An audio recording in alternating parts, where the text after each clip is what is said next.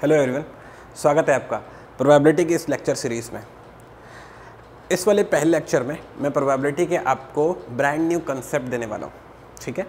लेकिन प्रोबेबिलिटी बच्चे लोग आपको बाद में समझ में आएगा। जो इसका बेसिक है परमोटेशन कॉम्बिनेशन वो आपको पहले सीख कर आना है। आ रही है पकड़ में?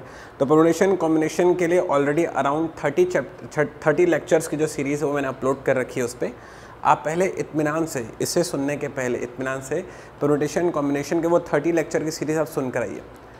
जब आप वो ट्वेंटी नाइन थर्टी लेक्चर्स की पूरी सीरीज़ जब आप सुनकर आ जाएँगे, जब आपको ऐसा लगे कि हाँ अब मेरे को प्रोनेशन कॉम्बिनेशन सर के साथ पढ़ के पूरा अच्छे से क्लियर हो गया, उसके बाद ये प्रोबेबिलिटी का पहला लेक्चर रन करना।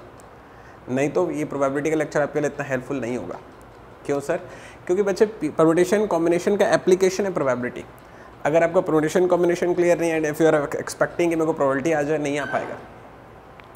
परमुटेशन कॉम्बिनेशन जो मैंने सिखाया है ना, उसी को मैं प्रोबेबिलिटी में अप्लाई करना बताऊँगा।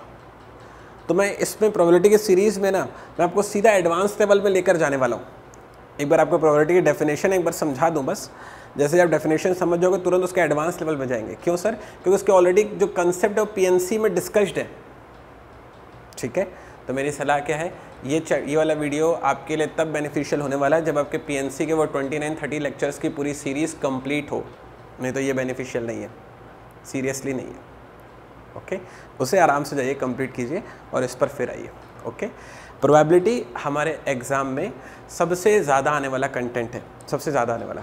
आप किस भी एग्ज़ाम के बारे में सोचो, किसी एम बी एंट्रेंस एग्ज़ाम के बारे में सोचो CAT MAT C MAT XAT I F T के बारे में सोचो आप कैंपस प्लेसमेंट लिटमेस के बारे में सोचो, या फिर आप गेट एग्ज़ाम के बारे में सोचो बैंक एग्ज़ाम के बारे में सोचो, इन सारे एग्ज़ाम में प्रोबेबिलिटी के क्वेश्चंस फॉर श्योर रहते हैं ओके और इसके अलावा आई टी एग्ज़ाम में भी इसके क्वेश्चंस आपको मिलेंगे। प्रोबेबिलिटी के बिना आज तक मैथ्स और एप्टीट्यूड का कोई भी एग्ज़ाम प्लान नहीं किया गया है। ये हमेशा आता है आपके पेपर में और प्रोबेबिलिटी आपको अच्छे से सीखना है।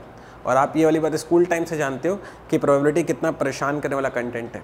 आप मेरे साथ इस वाली वीडियो लेक्चर के सीरीज़ में बने रहिएगा। मैं बहुत ही ग्राउंड लेवल से स्टार्ट करूँगा, एकदम बेसिक लेवल से, और आपको हाई लेवल तक लेकर जाऊँगा। ठीक है? एकदम बेसिक से पढ़ाऊँगा, एकदम हाई लेवल तक लेकर जाऊँगा। आपका कॉन्सेप्ट बहुत शानदार बना दूँगा। तो इस वाले सीरीज़ में फिर बने रहेगा जैसे हमने पीएनसी बहुत अच्छे से कंप्लीट किया है, वैसे ही मैं प्रोबेबिलिटी भी बहुत अच्छे से कंप्लीट करूँगा। आ रही बात पकड़ पे? तो आज क्या करने वाला हूँ मैं इस वाले लेक्चर में? आज मैं आपके लिए टाइप वन के प्रॉब्लम्स लेने वाला हूँ, ठीक है? मैंने यहाँ पर प्रोबेबिलिटी के, यहाँ पर प्रोबेबिलिटी के टाइप वन की क्वेश्चंस लिखे हुए ये रहा। मैंने प्रोबेबिलिटी के टाइप वन के क्वेश्चंस लिखे हुए जो कि मैं इस वाले लेक्चर सीरीज़ में डिस्कस करने वाला हूँ। तो आपने कॉपी में टाइप वन लगा दीजिए और उसका क्वेश्चन नंबर वन आप अपनी कॉपी में भी लिखेंगे। मैं आपको एक बार क्वेश्चन एक्सप्लेन करता हूँ, फिर सॉल्व करके भी बताऊँगा। क्वेश्चन आप लिखेंगे पहले। क्वेश्चन क्या कहता है? ये सुन लीजिए। क्वेश्चन कहता है, a box contents six black and eight white balls what is the probability that the ball drawn is white अब मैंने ना बहुत ही बेसिक क्वेश्चन लिया हुआ है और ये मैंने क्वेश्चन सिर्फ़ इसलिए लिया हुआ है ताकि मैं आपको ना प्रोबेबिलिटी की डेफिनेशन सिखा सकूँ। इसको प्रायिकता बोलते हैं हिंदी में। तो प्रायिकता की मैं आपको ना डेफिनेशन सिखा सकूँ। अब प्रोबेबिलिटी की जो डेफिनेशन होती है ना, वो जो हमको स्कूल टाइम पे बताई जाती है, वो आप पहले सुन लीजिए। हमको स्कूल टाइम में बताया जाता है प्रोबेबिलिटी की definition favourable spaces upon sample spaces अब ये डेफिनेशन एकदम सही है, लेकिन ना इतनी एप्लीकेबल नहीं है। तो इसीलिए हम लोग ना ये डेफिनेशन अब से नहीं करेंगे। हम लोग एक न्यू डेफिनेशन करेंगे। तो प्रोबेबिलिटी की डेफिनेशन होगी, जो चाहिए, बटे में सब कुछ। तो आज से हमारे लिए प्रोबेबिलिटी की प्रायिकता की डेफिनेशन होगी जो चाहिए बटे में सब कुछ। आगे बात पकड़ पे। ये हमारे लिए प्रोबेबिलिटी की डेफिनेशन होने वाली है।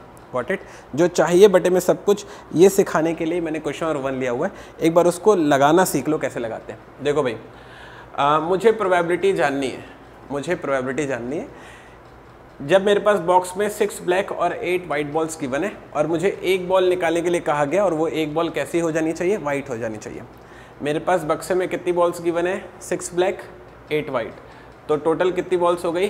फोर्टीन एट और सिक्स होता है फोर्टीन तो मेरे को एक बॉल निकाली थी। 14 बॉल्स हैं। उसमें से आपको एक बॉल सेलेक्ट करनी है। तो पीएनसी मैंने कंसेप्ट दिया था। सिलेक्शन के लिए यूज़ करते हैं कॉम्बिनेशन तो आप लिखोगे 14 C one that 14 C one conveys कि हमने 14 में से एक बॉल सेलेक्ट कर लिया यहाँ तक बात आ गई समझ में। दूसरी बात ये ये बन गया सब कुछ 14 सी वन ये हो गया सब कुछ, ये सारे में से निकाला ना। अब देखो क्वेश्चन के हिसाब से हमें क्या चाहिए? क्वेश्चन के हिसाब से हमें जो हमने बॉल निकाला है, वो कैसी हो जानी चाहिए? वाइट हो जानी चाहिए। क्वेश्चन के हिसाब से हमने जो बॉल निकाला है, वो वाइट हो जानी चाहिए। वाइट बॉल कितनी है? एट उसमें से एक बॉल जब सेलेक्ट करोगे तो आप लिखोगे एट सी वन तो ये हो जाएगा एट अपॉन फोर्टीन इसको सॉल्व करूँगा तो हो जाएगा four upon seven four upon seven इसका राइट right आंसर होने वाला है। देख लो इतमान से। पता चला जो चाहिए बेटा सब कुछ कैसे लगाया जाता है। आइडिया मिल गया। इसे इतमान से लिख लीजिए। हम लोग डिस्कस करने वाले हैं क्वेश्चन नंबर टू पर। चलिए।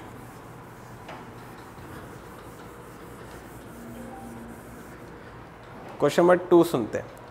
क्वेश्चन नंबर टू कहता है a box contents question number two अभी आप कॉपी में लिखेंगे। क्वेश्चन नंबर टू कहता है a box contents four white five red six blue balls three balls are drawn from the box at random the probability that all the all of them are red एक बार question समझा देता हूँ, सुन लीजिए। एक box में चार white पाँच रेड और सिक्स ब्लू बॉल्स हैं। आपको उसमें से तीन बॉल्स निकालनी है। इस बात की प्रोबेबिलिटी क्या होगी कि जो आप बॉल निकालोगे, वो कौन सी हो जाए? तीनों के तीनों रेड हो जाए। ये है वो क्वेश्चन ठीक है? चलिए इतमान से इसका अप्रोच देखते हैं। प्रोबेबिलिटी आपको जानना है। प्रोबेबिलिटी क्या होता है भाई? जो चाहिए, बटा सब कुछ, ठीक है? मुझे क्या चाहिए? भाई, पहले समझो सब कुछ क्या होता है। सबसे पहले सब कुछ ही डिफाइन किया करो। सिक्स और four ten ten plus five fifteen total हमारे पास फिफ्टीन बॉल्स हैं। इन तीनों को जोड़ने से फिफ्टीन आ रहा है। टोटल हमारे फिफ्टीन बॉल्स हैं। और मुझे क्या करना है? तीन बॉल्स सेलेक्ट करना है।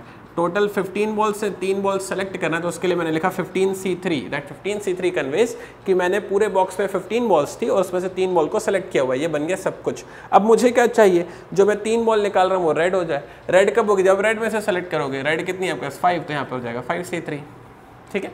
जैसे ही आप इसको सॉल्व करोगे तो हो जाएगा five into four into three fifteen into fourteen into thirteen इसको थोड़ा कैंसिल आउट कर देता हूँ। हालाँकि मुझे इतना करना नहीं चाहिए इस वीडियो पे, फिर भी स्टिल आई एम डूइंग तो ये हो जाएगा two upon ninety one two upon ninety one इसका ये राइट आंसर है। आप इतमान से देख लीजिएगा। पता चला कैसे अप्लाई होता है, जो चाहिए बटा सब कुछ। ये हो गया क्वेश्चन नंबर टू भी finish now we are going for question number three question number three सुनते हैं। क्वेश्चन थ्री में कहता है A bag contains six white and four red balls. Three balls are drawn at random.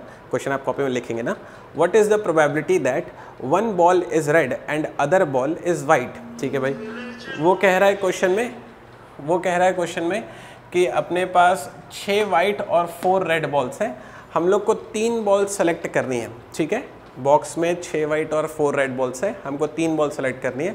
और इस तरह से सेलेक्ट हो कि एक रेड मिले और बची हुई दो वाइट मिले। क्वेश्चन आया समझ में? छः वाइट और फोर रेड बॉल्स है। आपको तीन बॉल निकालनी है। इस तरीके से निकालना कि आपको एक रेड मिले और बची हुई दो वाइट मिले। कैसे निकालेंगे सर आप? ज़रा इतमान से सीख लो। प्रोबेबिलिटी क्या होता है भाई? प्रोबेबिलिटी होता है जो चाहिए बटा सब कुछ। सब कुछ क्या बनेगा? सिक्स और फोर हो गई टेन बॉल तीन सेलेक्ट करनी तो लिखा मैंने टेन सी थ्री इसे सीख गए अपन। अब मुझे क्या चाहिए? एक रेड हो जाए। रेड कितनी है? चार। एक रेड हो जाए तो उसके लिए हो गया फोर सी वन दो वाइट हो जाए। वाइट कितनी है? सिक्स तो ये हो गया सिक्स सी टू आए समझ में? कंफर्टेबल है अपन इसे? तो अब आप इसको सॉल्व करोगे तो आपको राइट आंसर मिल जाएगा। एक्सप्रेशन आप देख लो। मेरा ख्याल इसको आपको सॉल्व करना आ जाता होगा। पीएनसी की बेसिक वाली क्लास में शुरू के कुछ लेक्चर्स में सॉल्व करना सिखाया, वहाँ जाके देखिएगा। इसको अगर सॉल्व करना ना आए तो। आंसर मैं कमेंट सेक्शन में लिखूँगा, आप वहाँ से अपना आंसर टैली कर लीजिएगा। इसका कैलकुलेशन वाला फॉर्म नहीं कर रहा हूँ लेंदी हो जाएगा फालतू, वो आप कीजिएगा। ठीक है? चलिए। तो ये आपको कमेंट सेक्शन में मिल जाएगा ऐसा कैलकुलेटेड फॉर्म आप एक्सप्रेशन देख लो कैसे बनाया मैंने। एक रेड दो वाइट टोटल तीन। चलिए। ये हो गया क्वेश्चन नंबर थ्री भी solve now we are going for question number four question number four कहता है a bag contents two red three green and two blue balls two balls are drawn at random what is the probability that none of the ball is blue बोल रहा है कि एक bag में दो red तीन ग्रीन और दो ब्लू बॉल है। आपको दो बॉल निकालनी है और इस बात की पॉलिटी क्या होगी कि एक भी ब्लू नहीं होनी चाहिए। चलिए भाई, मैं करके बताता हूँ, आप सीखो। प्रोबेबिलिटी क्या होता है भाई? प्रोबेबिलिटी होता है जो चाहिए बटा सब कुछ। सब कुछ क्या बनेगा? दो और दो चार और तीन हो गया सात। टोटल सात बॉल्स हैं, जिसमें आपको दो बॉल सेलेक्ट करना था, इसलिए मैंने लिखा सेवन सी टू ठीक है? अब मुझे क्या चाहिए? मुझे इस तरह से सिलेक्शन लेकर आना है कि एक भी बॉल ब्लू ना हो। अब आपको ब्लू नहीं चाहिए तो क्या कीजिए?